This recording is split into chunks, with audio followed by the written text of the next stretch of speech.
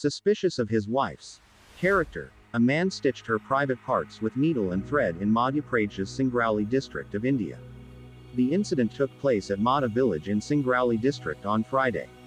According to police sources, the accused, 55, used to have arguments with his wife as he suspected her of having an extramarital relationship with a man of the same village. He also used to beat her up.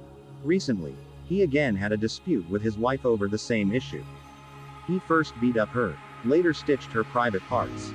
The woman somehow managed to escape from home and lodged a complaint, said Anil Sonkar, additional superintendent of police, asked. He further said that a medical report has confirmed that the victim's private part was stitched using some sharp-edged metal stick. Meanwhile, the accused is currently on the run, and a complaint has been filed against him under relevant provisions of the IPC. Further investigation is underway.